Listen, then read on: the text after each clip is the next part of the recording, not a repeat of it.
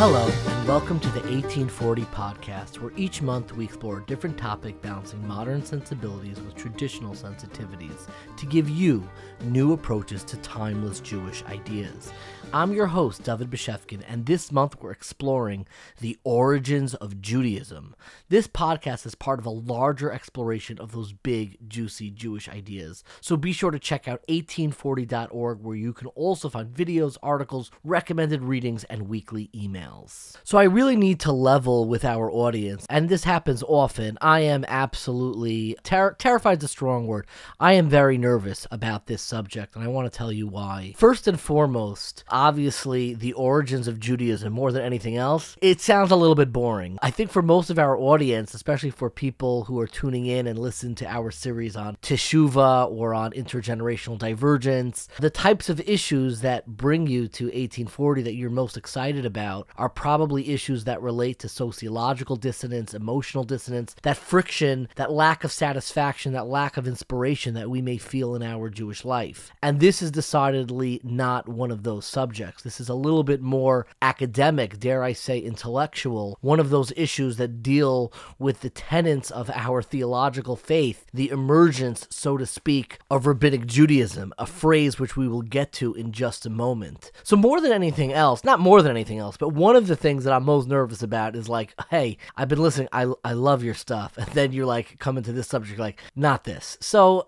one of the joys of 18Forty is the fact that we cover different forms of issues. Some of the issues that we cover are about sociological dissonance, about communal issues. We've discussed abuse in the community. We've discussed issues related to parenting in the community. We discussed communal issues, the sociology, so to speak, of the Jewish community. And of course, we discuss emotional issues, finding that satisfaction, reinventing, reimagining your religious commitment. But we also discuss theological dissonance, and we try to do it in a substantive, somewhat accessible, an accessible and substantive way. We're not looking to build walls. We're trying to provide content, information, ideas that help people reconcile and find a way through to build their own Jewish commitment in the modern world. So, if this is a little bit boring and it's not that interesting to you, I don't know what to tell you. I feel bad. It's always something that worries me a little bit. Feel free to go into the archives. You could take a break, stretch your legs for a month or so. Please don't hold it against us and don't say I didn't warn you. But there's another reason, and this is really the main reason why I am nervous to talk about an issue as lofty, as weighty, as serious as the origins of Judaism. And that is when you deal with the tenets of our faith with theological issues, you have to proceed very, very carefully. And these are issues that are absolutely fraught with ideas and concerns that could, God forbid, erode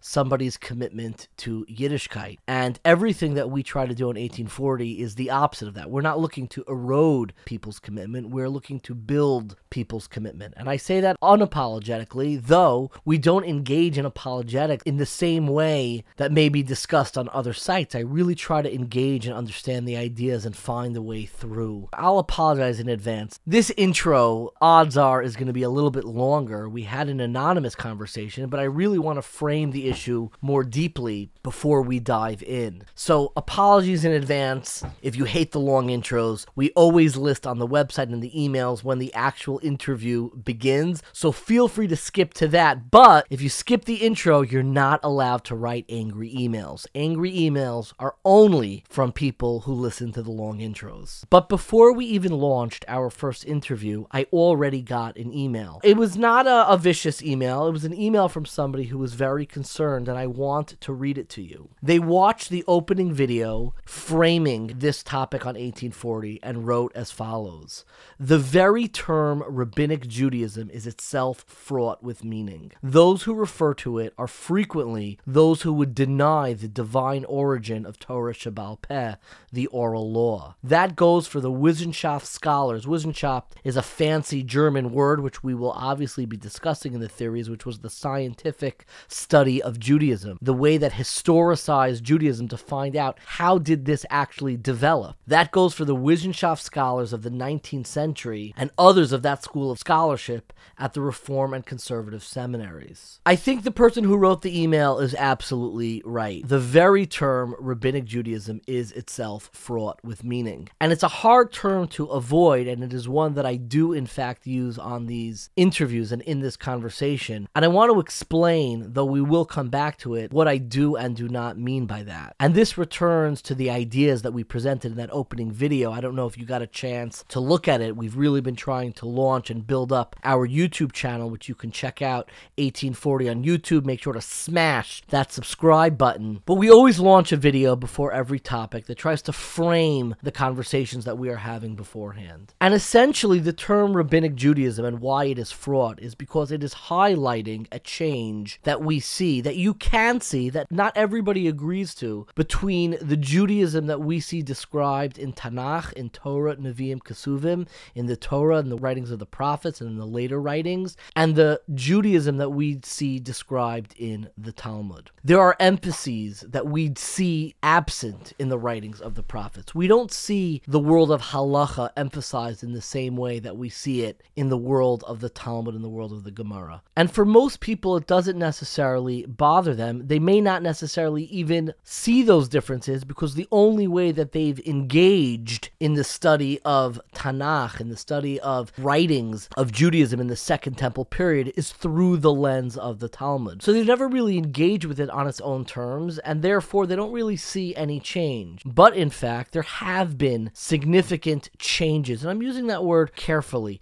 changes in maybe what is prioritized and what is central in the stories. I think the, the role of Talmud Torah is not something that we find emphasized in Tanakh in the same way that we see it emphasized in later writings. I think the centrality of halacha seems to be different in the way that we see it in the writings of Nevi'im and Kesuvim and the way we see it in later writings. Now, these differences, I'm not the first person to notice them. People have noticed them both from the school of Wissenschafts das Judentum. I don't know if I'm pronouncing that correctly, which is that fancy German word for the scientific study of Torah. And there are people who have noticed these differences who fit squarely very much within the traditional camp. Figures like Rav Tzadok HaKohen Melublin, figures like Rav Avram Yitzchak HaKohen Kook, figures like Rev Naftali Tzvi Yehuda Berlin, also known as the Netziv. All of these writers, Rev Kook, Rev Tzadok, and the Netziv, who all kind of lived in that same time, Rev Kook lived a little bit after, but all in that same late 19th, early 20th century period, also wrote about these changes and how the development and emergence of the Judaism we know today came about, how rabbinic authority as we currently conceptualize it first emerged. Essentially, I believe, and this is something that we emphasize in that opening video, but something that I want to frame because it plays a role throughout our conversations. There are really three models, as I understand it, to how you approach these changes. The first model is projecting the present onto the past. The second model is projecting the past, superimposing an imagined past onto the present. And the last model is what I would call the development model. Well, let me go through each one and explain exactly what I'm talking about. The first model projects the present onto the past. We take the current models of rabbinic authority, what we understand through the Gemara, and how the Judaism, as we understand it through the Gemara, and we project that onto the entirety of Jewish history. This is what it was like in the time of Moshe Rabbeinu. This is what it was like throughout the Second Temple period.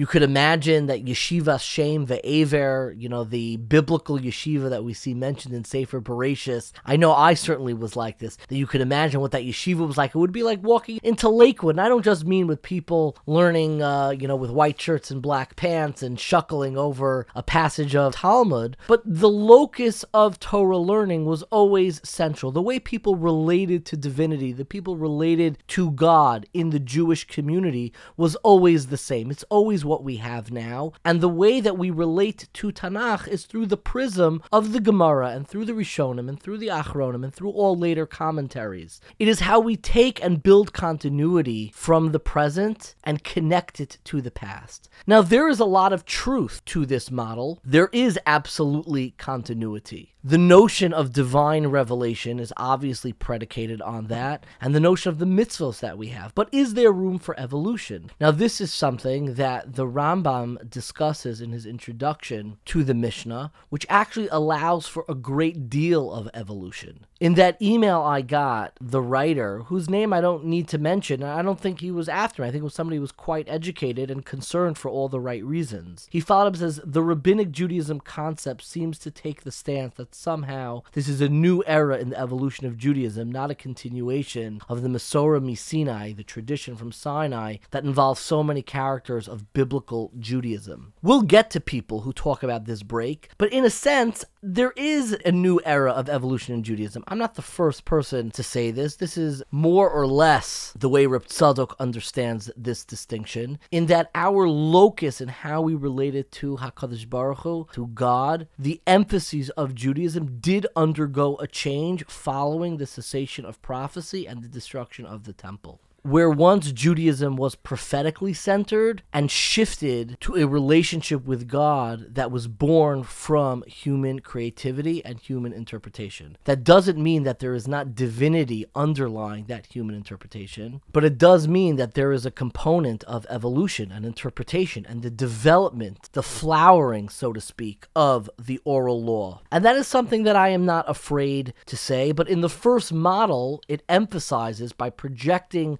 the present onto the past. This is always how it was. It tries to limit the amount of evolution that took place. So the growth and the continuity feels rather sequential. Now, there's a reason why we emphasize this, and some of the people who have emphasized this are like in the writings of Rav Shamshon Raphael Hirsch, who in his dialogue with his old friend Abraham Geiger, who we will get to in a moment, wanted to emphasize the sense of continuity. Some may say, if you read him carefully, that he overemphasized how similar and how sequential it has been, and underemphasize the amount of interpretation that takes place. All you need to do to realize that is to read, as I mentioned, the Rambam's introduction to his commentary on the Mishnah, which it is clear from that that most of the drushas that we have were a product not of divine revelation and prophecy, but were a product of human creativity and interpretation. That's most of what we have in front of us, and every generation was able to interpret that. Now, the principles of those interpretations are certainly divine, but there was an element of human creativity and interpretation. It's part of the beauty of our tradition, at least in my eyes. That's the first model. The first model is taking the present and projecting it onto the past. There's a second model, and that second model was championed by Abraham Geiger, one of the first leaders of reform, and that is taking the imagined or the historicized past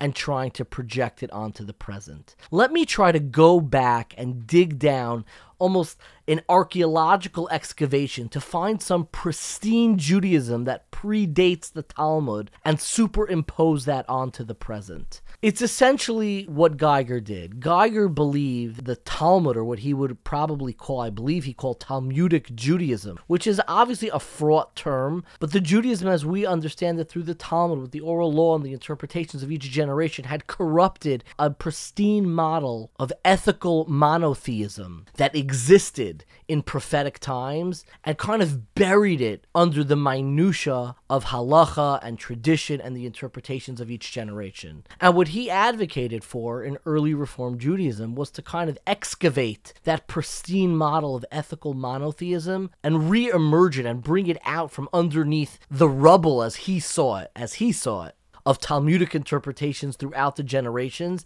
and reinstill that at the center of Judaism. This caused obviously a great uproar, and rightfully so. It didn't come with a great deal of deference for the tradition as preserved throughout the generations, and secondly, it brought Judaism a great deal closer to Christianity. He actually blamed Christianity and the persecution throughout the generations for the reasons why Talmudic Judaism emerged, and the Christians were also upset at him.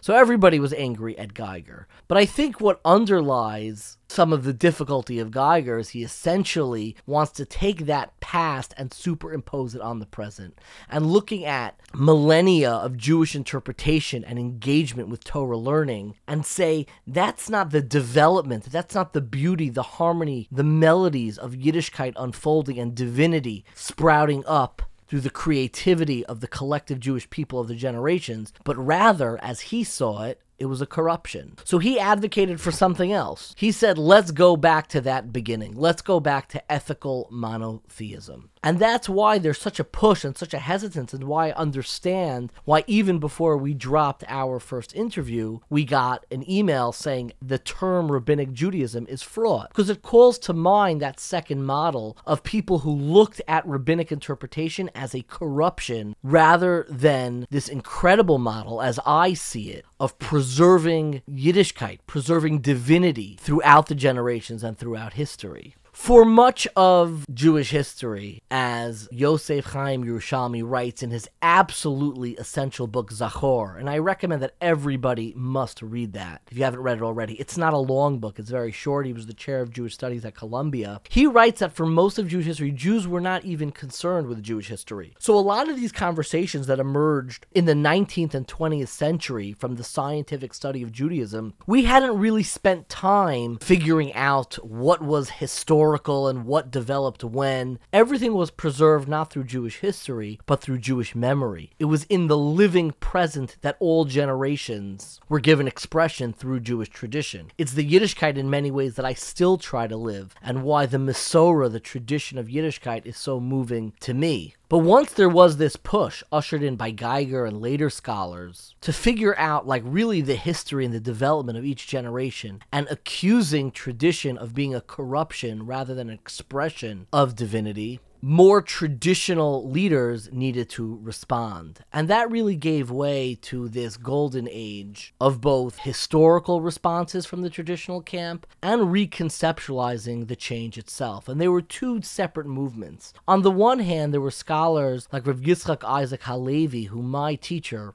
and former two time 18Forty guest, Rabbi Dr. Ari Bergmann, wrote his book on, called The Formation of the Talmud Scholarship and Politics in Yitzchak Isaac Halevi's Dorot HaRishonim, one of the most riveting books I have ever read, which talks about the politics that went into the exploration of Jewish history, which was fraught, as our email writer mentions, but also went in to build out all of Jewish history, not just the history of the Talmud, but starting in biblical and prophetic times in the Second Temple. And in the introduction to his work, Dorot Harishonim, which is the earlier generations, which is really a history of the Jewish people, but using a lot of the tools of the scientific study of Judaism, he received an approbation from probably the greatest living traditional rabbi at the time, Rav Chaim Ozer Grodzinski. And Rav Chaim Ozer writes in his approbation that this is so necessary right now because so many others have written histories of the Jewish people that frame tradition as a corruption. And we need somebody who can use these tools and put them to use to, in fact, show that our tradition is, God forbid, not a corruption of Judaism, but the greatest expression of Judaism.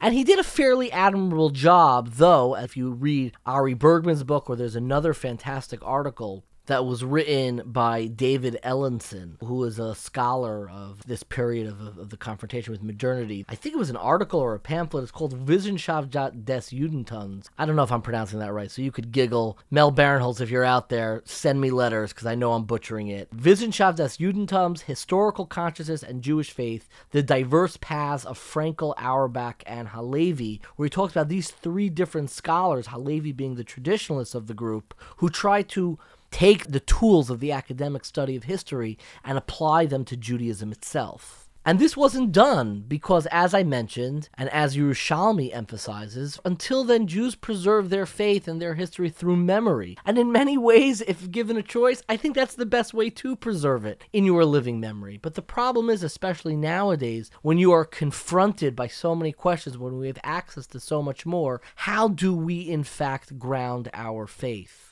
You know, I'll be honest for a moment. We opened up with an anonymous interview. There was another anonymous interview that I was desperate to get. There is somebody I know, I'm not going to say where he lives or anything about him, but suffice to say, he is a massive Talmid Chacham. He is a massive scholar in the most traditional way, who these very issues absolutely plagued him. And I begged him to come on and share a little bit. This is somebody who has written very serious Svarim. Again, I, I don't want to say more. I'm not making up the who this person is. And I begged him to come on, and he went back and forth, and he didn't feel comfortable for a lot of personal reasons that I absolutely respect and understand. But these are very real issues that people grapple with and need adequate responses and to be pointed in the right direction. And I hope that I'm going to be able to do so, which really leads me to the third model. If the first model is taking the present and projecting onto the past, and the second model, championed by Geiger and frustrating all of the traditionists, which is assuming this idealized past and superimposing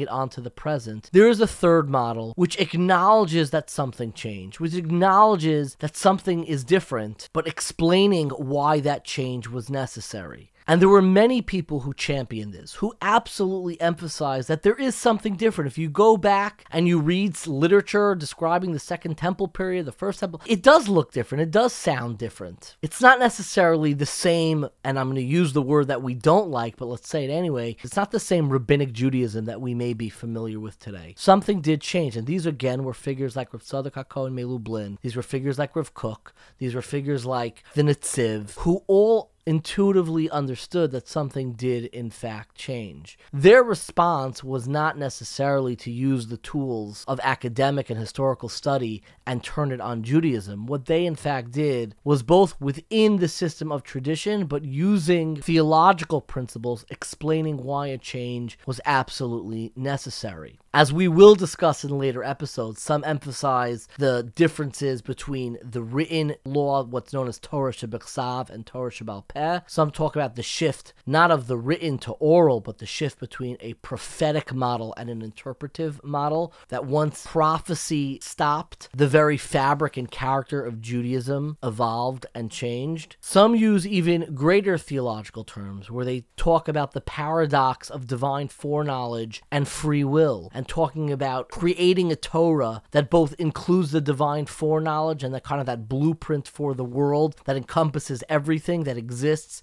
in our written Torah and the human creativity that emerges from our free will to reconstruct, so to speak, and wed together that often paradoxical worlds of divine foreknowledge and free will and wed them together in this union of divinity and human interpretation. But all three of these models are important to know and to know that they're in dialogue with one another. And very often, when people get upset, they don't appreciate which model is speaking. I'm going to leave the guessing game behind, and I usually don't take a strong position, but I want to avoid being excommunicated or having, you know, pashkavilim. Those are those signs that are hung up. I'm not going to avoid it entirely, but I'll tell you exactly what camp I am in. I am squarely in the third camp. I am in the school of Reb Tzadok, of Reb Kook, and the Netziv, who appreciate that something changed, appreciate an element of evolution and development, use whatever adjective or verb you want, but they recognize that something changed, but they appreciate that it is divinity that is the foundation throughout. So it's really taking elements of both the first and second model. If the first model is emphasizing only divinity and the second model is emphasizing only change and human interpretation, I think the third model kind of weds them together. Yes, there was a change. Yes, there has been development, but there is a way to see and actualize divinity throughout that entire process. And that is why I am absolutely in love with the study of Talmud, because I think it is the lens through which we engage with the grand symposium, the collective ideas of Knesset Yisroel and the Jewish people. And I hope it's on this journey that you join us with 18Forty, that we can add our collective voice to that journey in confronting the questions of history, but also building a greater commitment and appreciation within our collective memory. And it is without further ado that I would now like to introduce our conversation with really an expert in the field, the author of the absolute classic From Text to Tradition, a history of Second Temple and Rabbinic Judaism, a professor at NYU. It is our absolute pleasure to introduce our conversation with Professor Lawrence Schiffman. It is really my absolute pleasure to be sitting today with Professor Lawrence Schiffman, who I really know because my teacher, dare I say, Rebbe in Yeshiva University, why I came to study in Yeshiva University after learning in Ner Yisrael for many, many years, was Dr. Yaakov Elman of blessed memory. And I know he spoke so fondly of you. We studied together for two years. We learned the works of Reb Tzadok together, which in some tangential way relates to our discussion discussion today. Thank you, Professor Schiffman, for joining us today on 18Forty. Thank you. Good to be with you. So, I want to begin with really a framing of the question, and that is when we look at the Jewish community today and you ask your average Jew, what's the Jewish community up to? They're going to break it down into denominations. They'll tell you we have an Orthodox community, we have a conservative community, Reform, Renewal, Reconstructionist, and we have all of these different denominations. And when we talk about the emergence of, you know, Judaism as we know it today, we try to all draw straight lines back to the past. Orthodoxy for sure does this. There are spirits of conservative Judaism that contends with the past. Reform Judaism tries to restore a past. And my question is if I were to ask a Jew in the Second Temple period, which is your expertise, what is Judaism today? Are they describing the different sects of Judaism in the same way that we talk about Reform, Conservative, and Orthodox today? Were they interacting in the same way? And what were the beliefs of these sects? Okay, this is like a question which could take up all of our time. So let's start by explaining there is actually only one Jew who we know answered that question explicitly. That Jew who answered the question explicitly was Josephus. Now, Josephus was writing really after the destruction of the temple, but was writing about the situation right after the Maccabean revolt. Now, after the Maccabean revolt for Josephus doesn't mean what it means to most people today. Most people today think in 164 BCE, Jerusalem was liberated and that's the end of it. But for Josephus, who understood that Judah the Maccabee and his followers were subsequently kicked out by Hellenists, and that really the Maccabean revolt ended in 152 when Jonathan the Hasmonean became the ruler. So at that point, exactly, Josephus says, there are three major Jewish sects. And he tells us about the Pharisees, the Prushim, who were the forerunners of Talmudic rabbis. Yeah, so tell us, what are those three big sects right. that he says? So the first one he talks about is the Pharisees, Prushim in Hebrew, the forerunners of the Talmudic rabbis. And he describes them and talks about aspects like the unwritten law, which is a kind of free version of what we call Torah Shebaal Peh, the oral law. And he talks about the Pharisees as popular teachers. And then he goes on to discuss the Sadducees, who are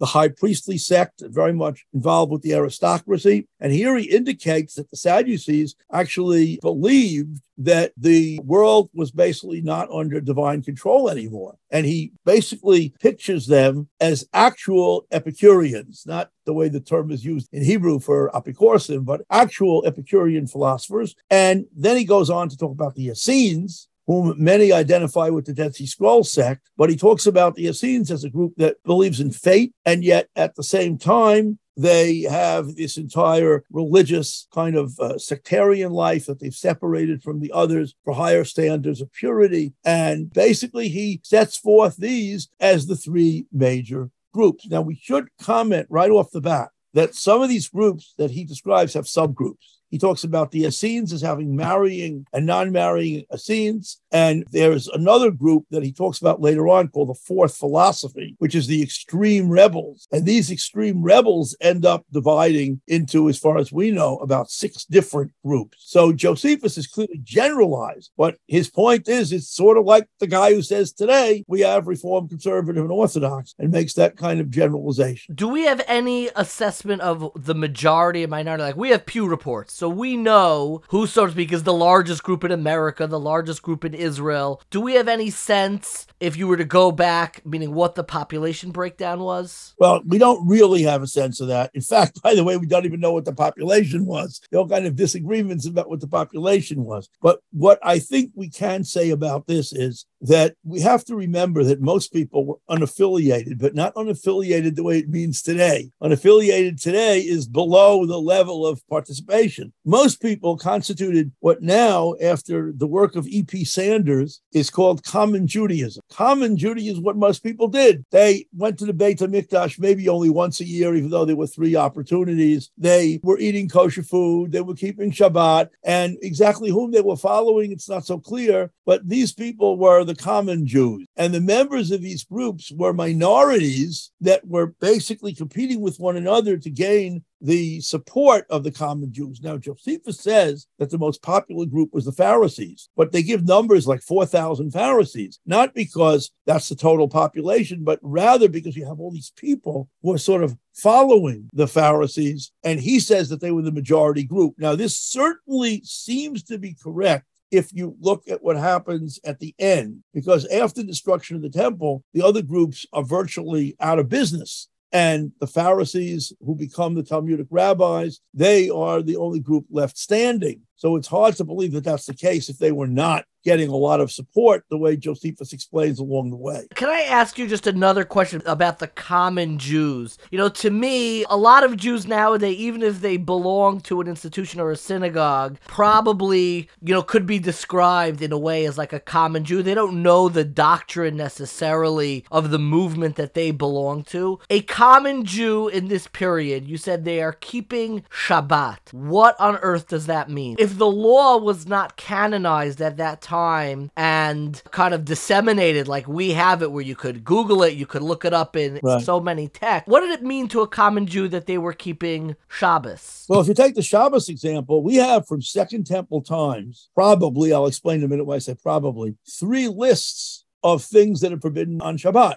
as to what is work what is malacha on shabbat now, the one list is in the Book of Jubilees, which is a Second Temple work which shares in the priestly like approach of the Dead Sea Scrolls and was preserved there in some fragments. Then we have the actual Dead Sea Scrolls list of what is forbidden on Shabbat. And then we have the 39 rabbinic list which I think goes back to Second Temple times are very close to it because it's so much like those other lists that I just mentioned. What we call the Lamed Tes Malachos. Yeah, they have okay. tremendous amounts of things in common. Just let me just give you an example. The first law in the Dead Sea Scrolls one, which I'll tell you, by the way, was analyzed by me in my doctoral dissertation. A whole big section was on the Shabbos laws of the Dead Sea Scrolls. The first law is that when the sun is distant from the horizon, by its own diameter, which is about 40 minutes before sunset, that you stop doing malacha. And then they quote the very same uh, text that the rabbis quote, right? They quote, Shamor Yom HaShabbat L'Kadsho. Keep carefully the Shabbat to sanctify it, for which the rabbis, they derived that you should add some time to Shabbat before it.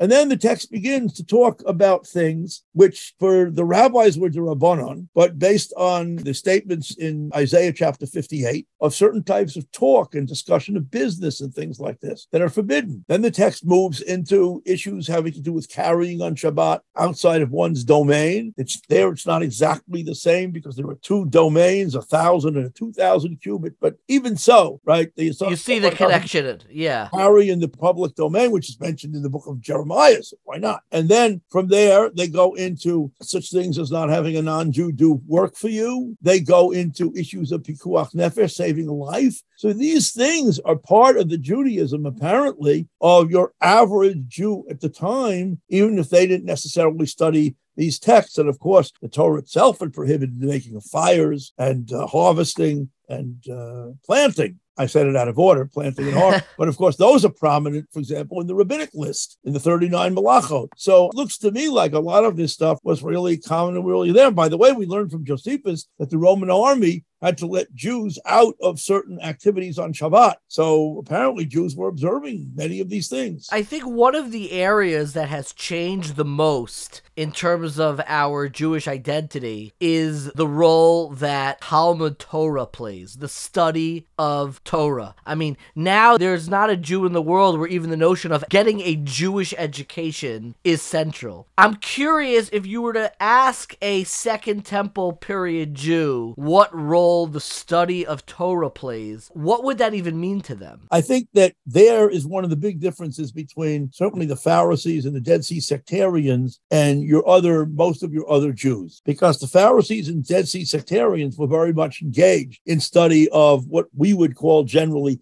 Torah, because you mean Torah in the wide sense, not just the Torah, the correct Moses, right? Now they were very much engaged in that. And on the other hand, for most of the Jews, the center at that time was the temple and the various rituals pertaining to and concerning the temple. And we know that two things happened as a result of the destruction of the temple. One is the institution of the synagogue developing from what it was basically just its early beginnings into the full fledged synagogue. And second of all, we know that if you want to speak like using a non Jewish term of the sacraments of Judaism, that when sacrifice ceased to be a sacrament of Judaism, study of Torah along with prayer, those two things were essentially the replacement sacraments. So we do have to realize that the idea of universal Torah study in a serious way, now, this is despite the fact that we have evidence that already in the first century BCE, education for children was required. But that's not really what you're asking about. Correct. Education for children is to provide basic literacy and, in terms of Jewish observance, basic ability to function with the prayers and stuff like that. But we're talking here about really a more advanced education. I think we need to be aware that the form of mass Torah as a kind of, I don't know what you want to call it, a mainstay of the culture, which might be jokingly called the substitute for television in the general culture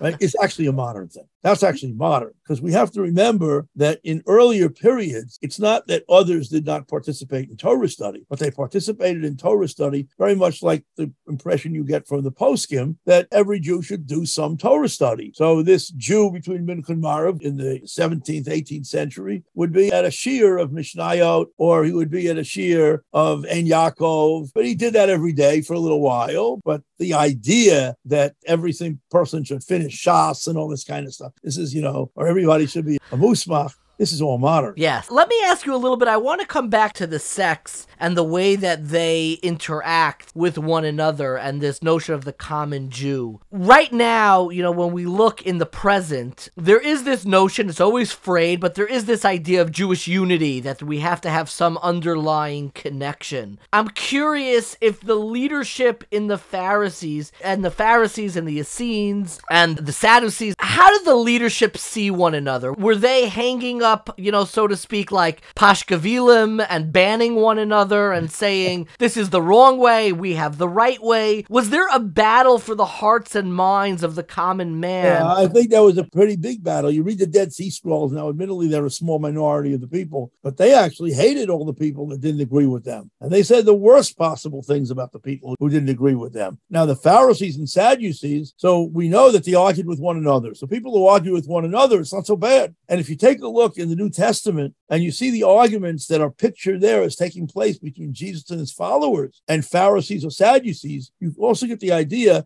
there's a kind of a norm of argumentation that went on. So they apparently, these groups, they didn't agree with one another, but they had no problem talking to each other and disagreeing with one another in those conversations. You see it in the Mishnah, especially in the Mishnah Yadayim, between the Pharisees and Sadducees, very similar to what you see with the Christians and the Pharisees and the Christians and the Sadducees in the Gospels. So apparently, there is a sense of some kind of ability to disagree civilly. Of course, there are one or two examples mentioned in our sources of people getting quite violent about this. There's one mentioned in the temple of a struggle between Beit Hillel and Beit Shammai that one would never imagine turn into a physical struggle. But of course, you know, these things do sometimes happen. But I don't think that Jewish unity was spoken about so much. I think it may have been assumed and the rest of the world, when we read the Greco Roman sources about the Jews, they're describing Jews as a very unanimous group, so unified that they regarded them as xenophobic,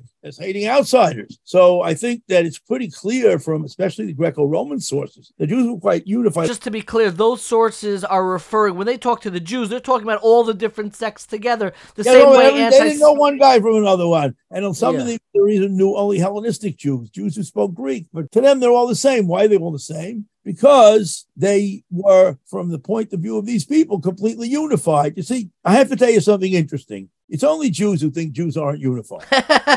Forget about the anti Semites who think that they're unified to control the world. The reality of the situation is that there takes place a war in Ukraine, and the first people that you can see at the border of Poland are people with signs up We're here to help the Jews. Nobody cares which Jews, nobody cares what kind of Jews. And he got 17 Jewish organizations run to these places. They cooperate totally. And the whole Jewish disunity which you hear about all the time, and these servants you hear about it, don't really know what this unity is. If you understand what I mean. This is a theme that has become stated over and over and over, but the level of disunity is nothing like what people seem to think. Tell me a little bit more about the world of the Pharisees and where they emerge from. When you study in, whether it's in a yeshiva or a seminary, and you open up the way rabbinic texts depict their own history, you know, the first thing that comes to mind is the Mishnah in Pirkei Avos, which says Moshe kibel Torah misinai. Moshe accepted the Torah, he gave it to Yehoshua, and Yehoshua gives it to, and, and here we are all the way down to Shimon Hatzadik. It's come down to us as this like unbroken chain. And to me, I think part of the, maybe I would call it the fear of studying Second Temple era history is that the unbrokenness of that chain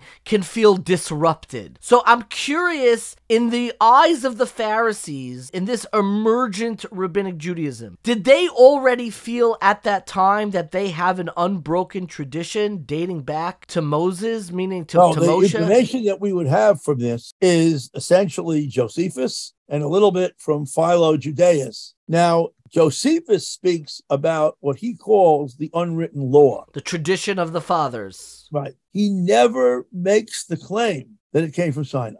The earliest sources we have making the claim that it came from Sinai are Tannaim, Mishnaic teachers, talking about the Second Temple period before the destruction of the temple and saying that. Now, on the other hand, if we go back to Ezra, Nehemiah, and Divrei Yamim, Ezra, Nehemiah, and the books of Chronicles, these are books that most Jews have never read.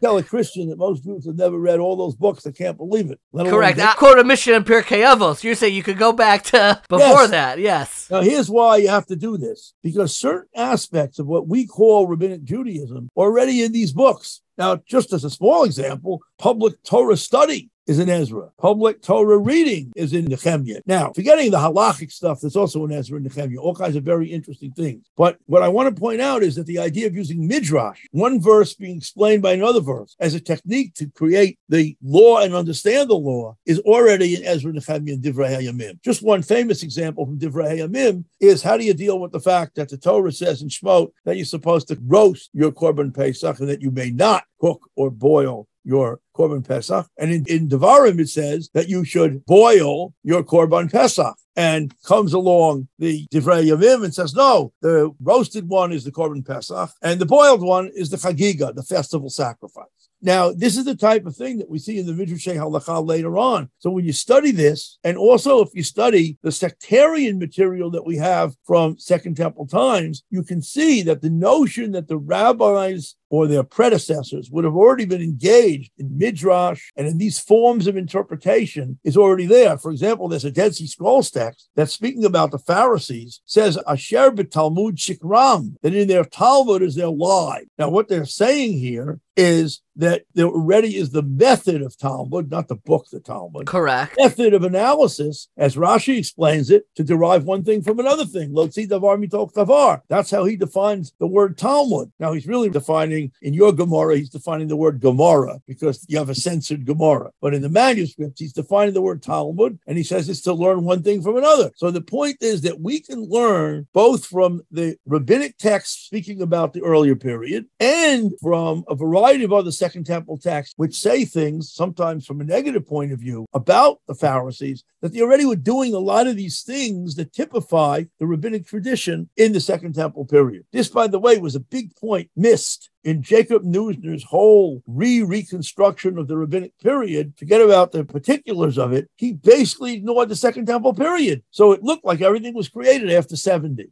And uh-huh. it wasn't created after 70. Much of these things are already there in the Second Temple period. And this you, you can see. Let me throw out an example just out of nowhere. I mentioned before about the question of pikuach nefesh. Saving a life on Shabbos. Saving a life on Shabbos. Yeah. Now, it's well known that the early Christians and the New Testament pictures Jesus as feeding hungry people on Shabbos. Now, what people don't realize is that in a confrontation with the Pharisees, that's pictured also in the Gospels, he says to the Pharisees, But don't you do korbanot on Shabbos? Don't you sacrifice and burn offerings on the Sabbath? What's he saying there? He's saying, You guys agree that a positive commandment can push off a negative commandment. So I'm telling you that the positive commandment to feed the hungry allows us to pick grain and do it on Shabbos. Now, we don't accept that argument for a very simple reason because a hungry person can wait a couple hours till Shabbat is over. He's not dying or in some kind of difficult sickness where we need to help him. So, okay, we don't accept his argument. But look at his argument says about the Pharisees. He says to the Prushim, not simply that you believe in Pikuach Nefesh, but you believe that positive commandments push off negative commandments. And we would not have known, if not for this passage, that that principle existed in Second Temple times. And here you see the principle right there in Second Temple times. Of asay docheh lo ta'aseh and trying to use that Yes, to yes, and that's a pretty subtle point. Now, this is not the place for this discussion, but it's a reality that the New Testament is an excellent source for things about the history of the Jews. Right? There's some funny aspects of it. correct. It's true. Do you know the first Jew that we know was called to a Haftorah? Not that, that he invented the Haftorah. The first Jew called to Haftorah is Jesus. He's the first Jew that we have recorded. that we called- know as a fact was called the Maftir, read a Maftir.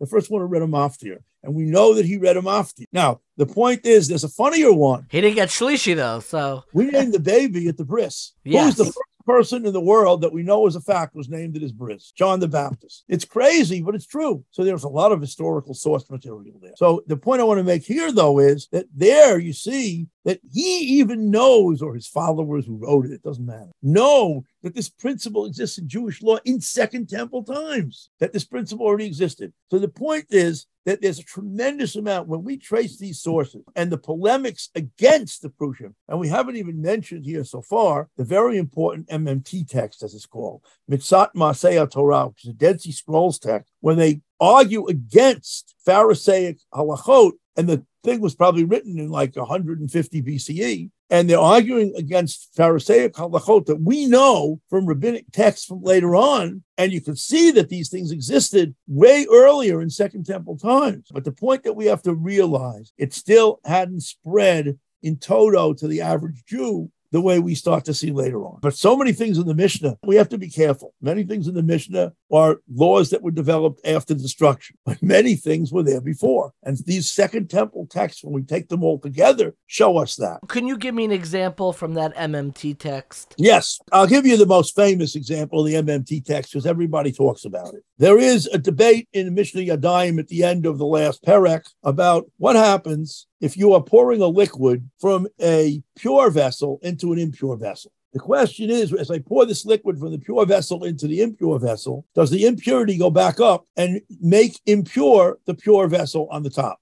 Now, this debate of the Pharisees and Sadducees in the Mishnah Yadayim, the Pharisees say no, impurity cannot go up in the opposite direction of the flow of the liquid. There is a text in this MMT, Miktzat Maasei Torah, which means some laws of the Torah. In it, there is a direct text saying, You say, and what's the you say? You say the Pharisee position. Don't mention the Pharisees here, but you say that it doesn't render it impure, but we say it does. Who are the we? The Sea sectarians here agree with the Sadducees because they basically follow Sadducee like law. But that's not our point right now. Our point right now is look at this. It proves to us that the view of the Prushim existed at this time. I'll just mention in parenthesis, it's interesting that for kashrut, this is not the ruling. For kashrut, the item can flow up. So Yes. if you're pouring from a chicken soup into a pot of boiling milk, the remaining soup in the pot on the top becomes not kosher. It's different than the purity laws. That's actually a great segue because anytime I have these discussions, I feel like I'm talking to two different people. I feel like I'm talking to Professor Schiffman,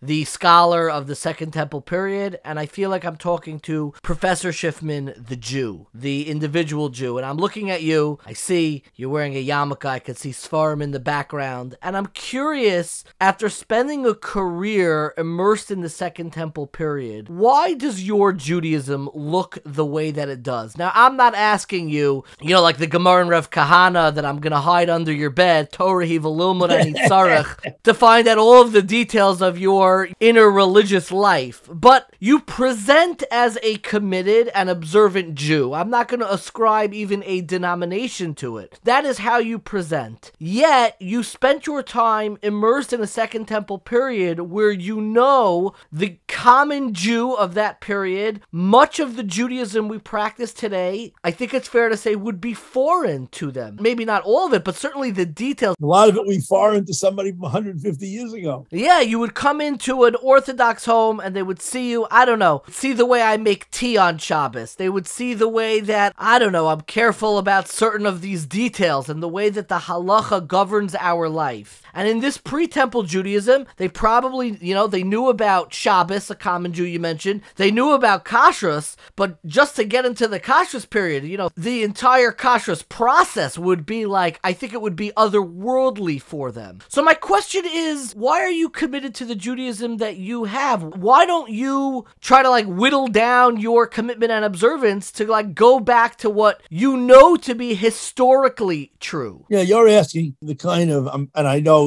you know better, but it's a naive question, right? Well, why don't we do what they did, you know, in thousands of years ago? Why don't we do biblical Judaism, right? And try to, okay. The irony of this is that the more you learn about the past and how different the past was, the more you understand actually the power of the system which keeps developing. So, in other words, for those for whom historical change becomes an obstacle to observance and commitment, etc. For most of the academic type scholars, historical change is the opposite. It's a sign that the whole thing is relevant in each and every time because it's developing in accord with a certain type of semi-teleological, but not totally form. So this gets into the question of how you see development. Is development good or bad? If the development is bad, so you're going to completely deny it and act like everything has always been the same. If you see development as good, then you see no problem that Judaism is expressed in different times in certain different ways and continues to develop. So, just a simple example from right now, something we mentioned before. Look,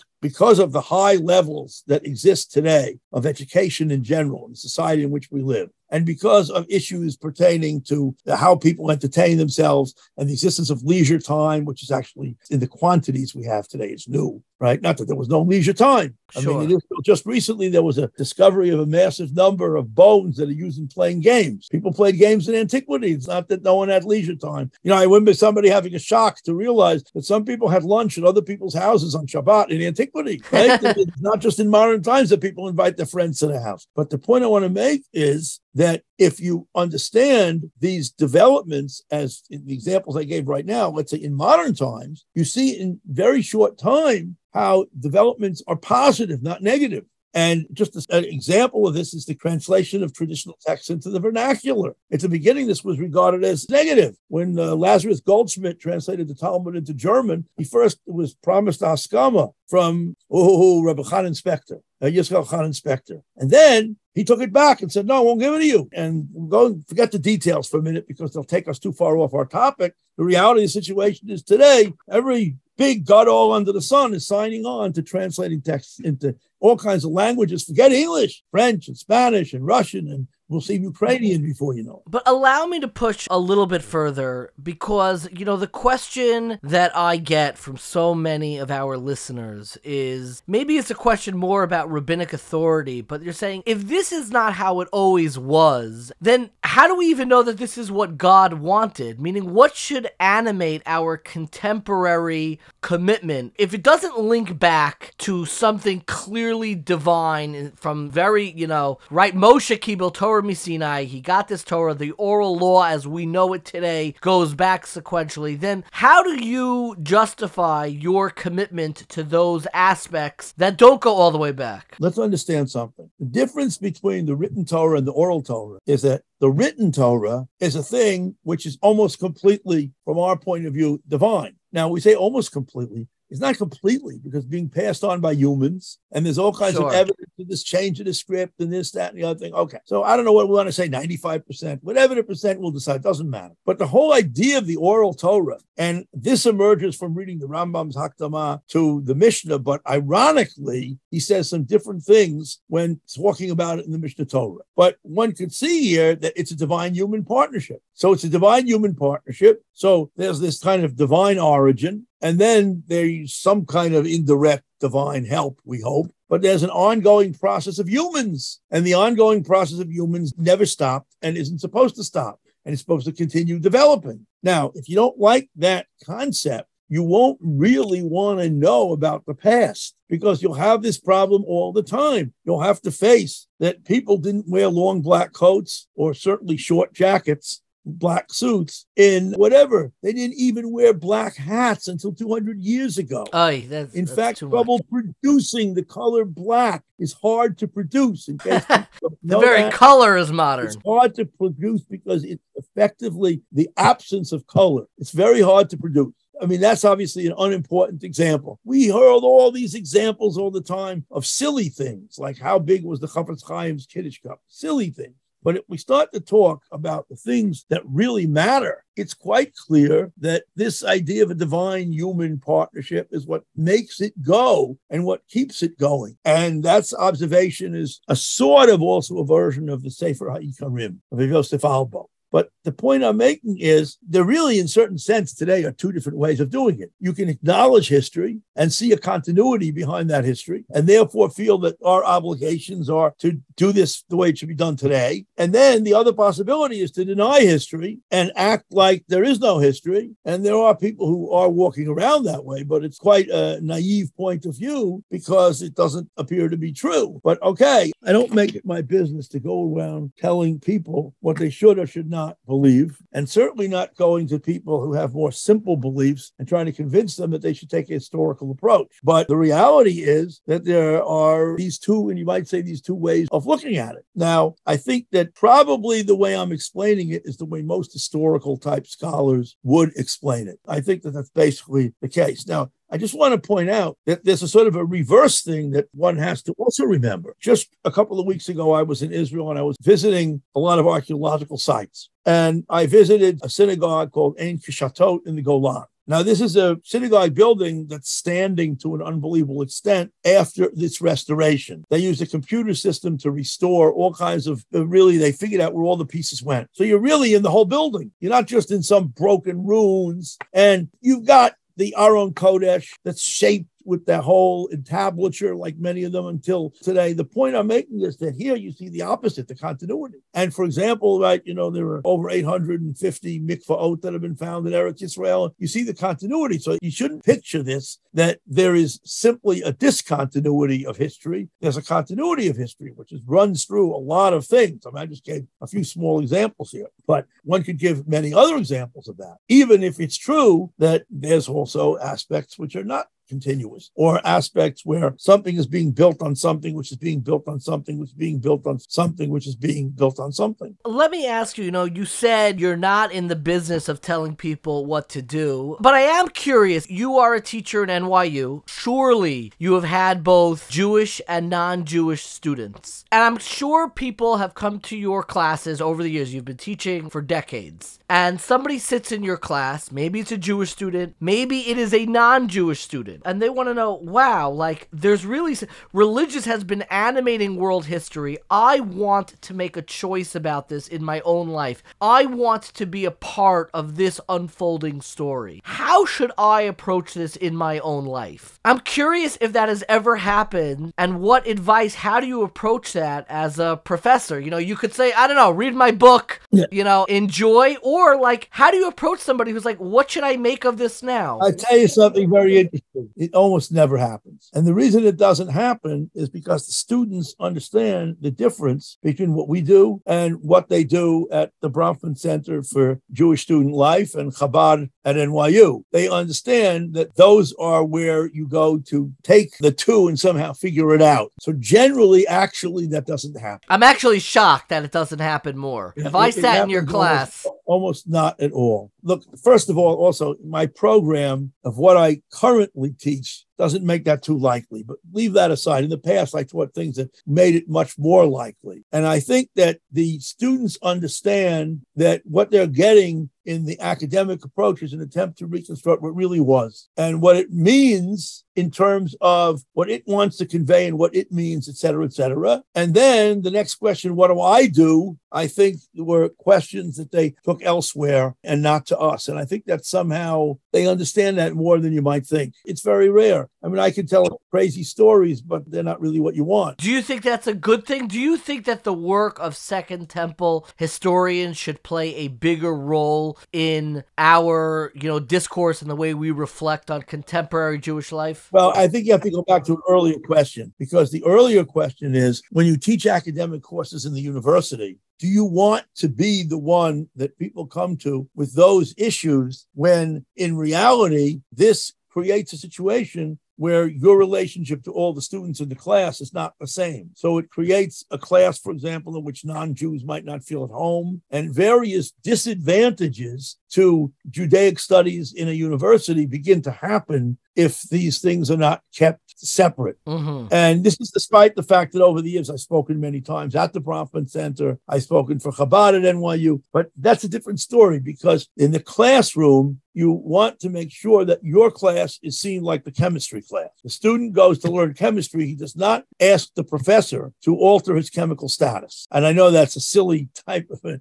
example, but it's, I think, an important point. And that we need to do our job and the maintenance of the difference between that job and the other job is important to Judaic studies being a recognized academic subject. So that's, it doesn't really happen. They usually know better. Another thing, just one subheading of what you're talking about now is we use a certain type of discourse which removes us from the discussion. So it's not we do this, right? But Jewish law requires that someone do this. Now, I can stand up in the class and describe the laws of Nida as understood in the Mishnah and Gemara with no problem at all because no one's going to raise his hand and start discussing whether it's a good idea or not. We're understanding what the beliefs are in these texts, right? So it doesn't stop you from discussing any topic, but you're not opening the types of discussions of how would it apply today. Let's say not people in your classroom, but um, your book is widely read. People email you. When you get an email and somebody appeals to you to help them figure out, and you know, I'm staring right now, I'm showing you, we're not going to release this. This is a four page email that I received from a listener. Every one of these questions is on your book, every yeah. single one, because they knew I was interviewing you and they were so, you know, excited. Really, we have time for all those.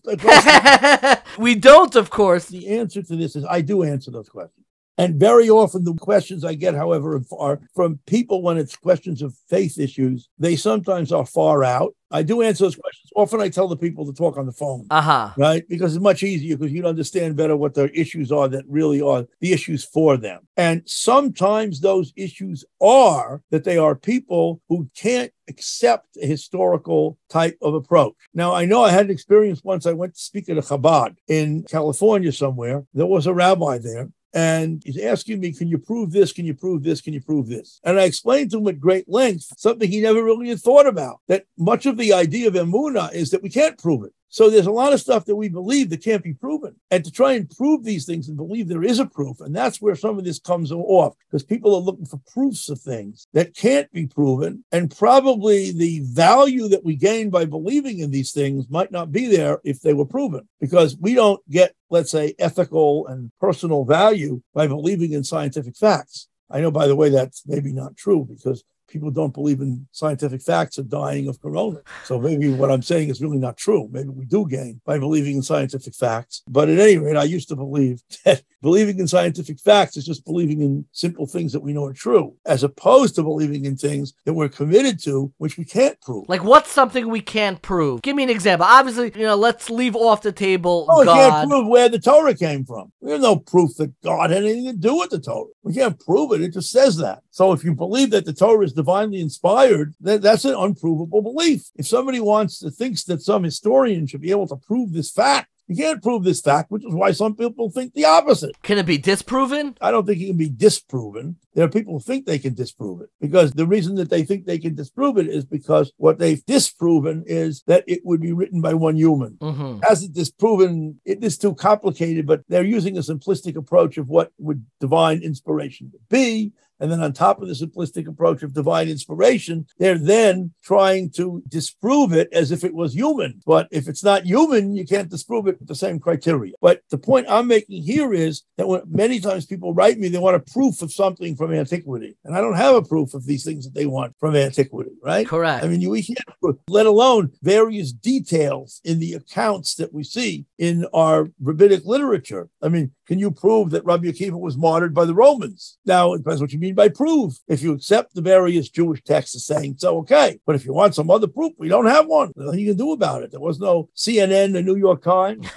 Correct. In those days, we don't have the type of information. I get a lot of that people who want proofs for things that can't be proven. Gotcha. I'm curious about you, how your faith, how your commitment and observance has changed. You've spent your life immersed in Second Temple Judaism. You spent your life immersed in a very different world than the one you have been born into and that has evolved since being born. You know, you grew up almost nearly to the year as my father. A lot has changed in the Jewish world yeah. Since that time. I'm curious how, on a personal level, your scholarship has impacted your observance and your commitment. I'll tell you what's very funny because remember, besides studying Second Temple Times, I also do a lot of work in rabbinic period. I actually have a volume that's almost ready for press, which is over 40 articles re-edited that I wrote on non-Dead Sea Scrolls, and most of it's not Second Temple. When's that coming out? Maybe you could tell our listeners. Well, it's going to be a book coming out, I assume, from Brill Publishers. It's going to be very expensive. Oh yeah, we know about Brill Publishers. Our listeners know. It'll probably be about two years. Okay, two years. So start saving up now because yeah, it'll be about two years. But at any rate, the point I want to make is that I spend an enormous amount of time studying what at least is academically turned rabbinic literature, right? Which includes Bavli, Yerushalmi, Midrashim, whatever. This coming semester, I'm teaching a course on uh, the, the Midrashei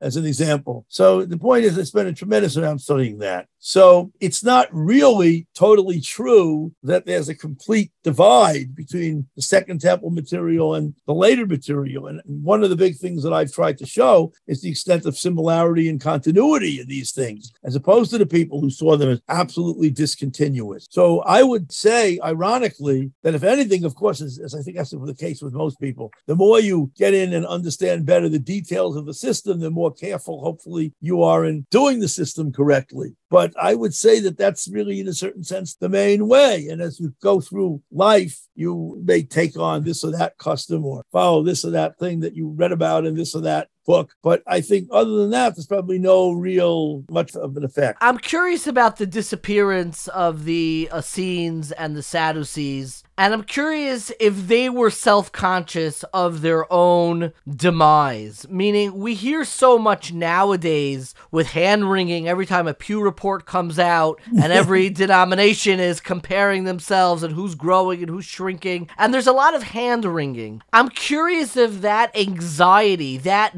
notion that a major sect within Judaism can disappear, did it happen in one fell swoop because of the destruction? Yeah, I don't think you have such a thing because I think they were confronted by an overturning of reality through the destruction that they didn't really see coming and didn't expect. I mean, that's my guess. Ironically, the people who do the most hand wringing over the destruction that we have, because what's preserved, is Chazal, the rabbi. We don't know what the Sadducees said when the temple was destroyed. Now, we do know that some Sadducee traditions went underground and emerged in Karaism yes. in the Middle Age.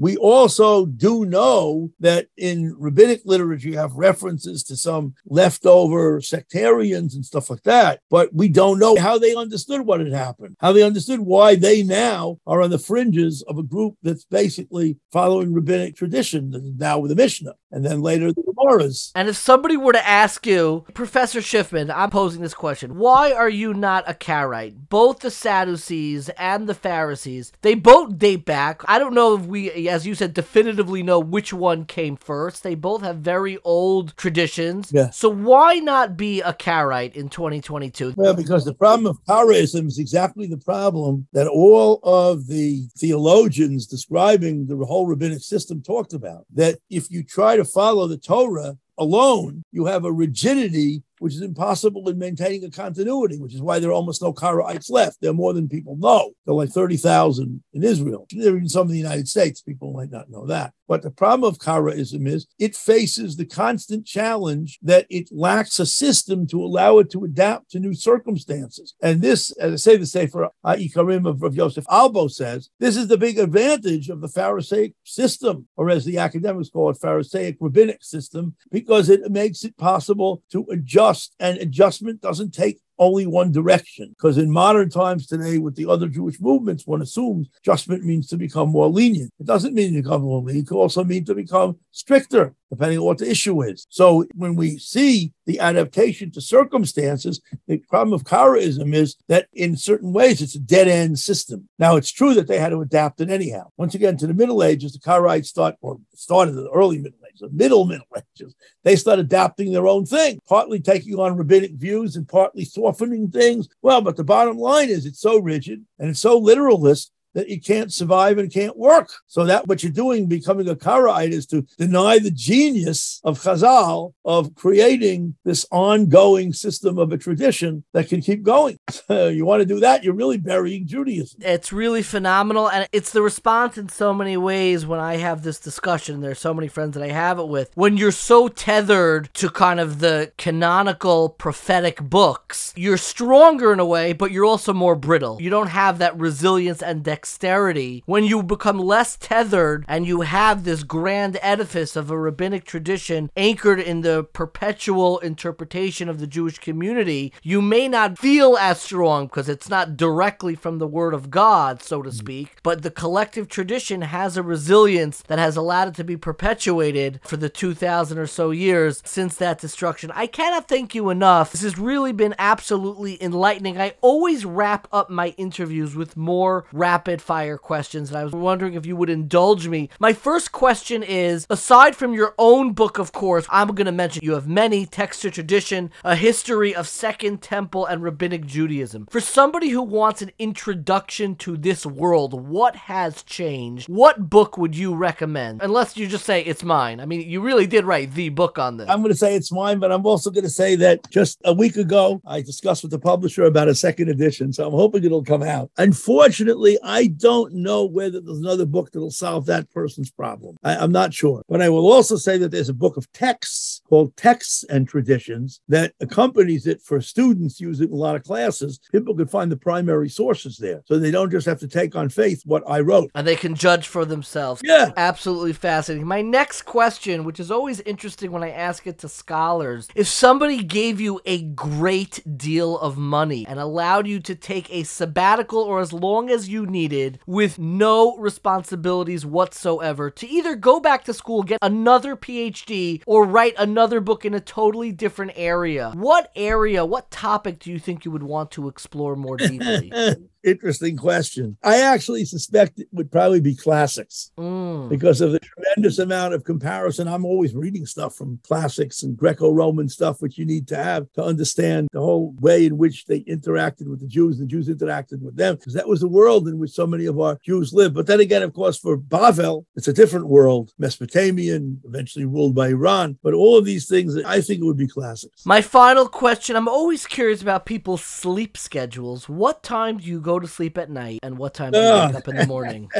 well, we usually go to sleep at about midnight, and I get up at about six something. I actually give a shiur every morning at seven fifteen. what do you give a shiur on at 7.15 every morning? For Achinu. Wow. First, we did we did Mishnah. We did Mishnah for years and years. We did every Masech. I, mean, I hate to say this, you can't do all the Masechtas. We did 34 of the Masechtas, some of them twice, and then we decided to switch over to Sefer HaChinuch. So we're now halfway through the Sefer HaChinuch, I would say. Professor Schiffman, thank you so much for your time. It was really a pleasure and privilege speaking with you today. Okay, thank you. There is something deeply inspiring to see somebody like Professor Schiffman, who I've had the privilege of davening together with, praying together with. I appreciate his davening, but more than anything else, I appreciate the man is always dressed to the nines in a three piece suit, which is absolutely just the way all scholars should comport themselves. I absolutely appreciate this. But what I find so important is to see somebody who is committed to the traditional expression of Jewish faith, to halacha, yet is unafraid to stare squarely at the history and the development of Yiddishkeit, who's able to look squarely, not shy away from questions that may emerge from the Dead Sea Scrolls, the questions that may emerge from Second Temple literature, understands all of those developments Yet you'll find him at a Mincha minyan. And there's something deeply comforting about that. I don't know as much as Dr. Schiffman, and I'm probably not as consistent catching every single Mincha minyan as Dr. Schiffman. But there is something that is deeply moving to see scholars and to also see scholars daven a mincha. Knowing what they know, seeing what they've seen, having to choose. He could have chose to build his life around one of the cultic Dead Sea Scroll sects. He chose not to, and you will find him in shul davening a mincha with everybody else and building that path to be unafraid and confident enough to stay in the room even after seeing and acknowledging many of the changes that Judaism has undergone over the millennia is something that I find so moving and so powerful. And I hope more than anything else, if we provided you a glimpse into that origins, the emergence, so to speak, of rabbinic authority in Second Temple Judaism, I hope it does give you more confidence and not less confidence, God forbid, to show up to that mincha. Because sometimes it can feel like there is no connection. Sometimes development and change can feel like we are broken from the past. Instead, I like to think of it as each generation adding another harmony, another melody, another voice to that unfolding symphony of the Jewish people. So thank you so much for listening. This episode, like so many of our episodes, was edited by our dearest friend Denah Emerson. It wouldn't be a Jewish podcast without a little bit of Jewish guilt. So if you enjoyed this episode or any episode, please subscribe, rate, review, tell your friends about it. You can also donate at 18Forty.org slash donate. It really helps us reach new listeners and continue putting out great content. You can also leave us a voicemail. We don't get enough of these. Send us a voicemail angry, happy. Just let us know if you prefer to stay anonymous with feedback, questions that we may play in a future episode. That voicemail number is 917 720 5629. Once again, that's 917 720 5629. If you'd like to learn more about this topic or some of the other great ones we've covered in the past, be sure to check out 18Forty.org. That's the number 1 8, followed by the word 40, F O R T Y.org, where you can also find videos, articles, recommended readings, and weekly emails. Thank you so much for listening and stay curious, my friends.